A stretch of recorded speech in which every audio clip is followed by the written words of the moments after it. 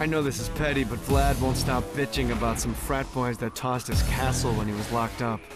Personally, I got nothing against poli-sci majors with popped collars, but as a general rule, I like to keep people with nicknames like the Impaler happy.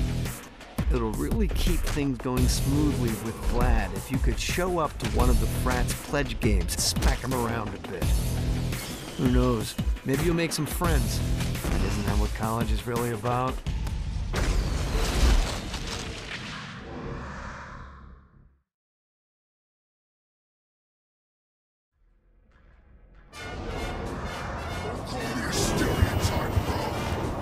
Name of the Dark Father. Time.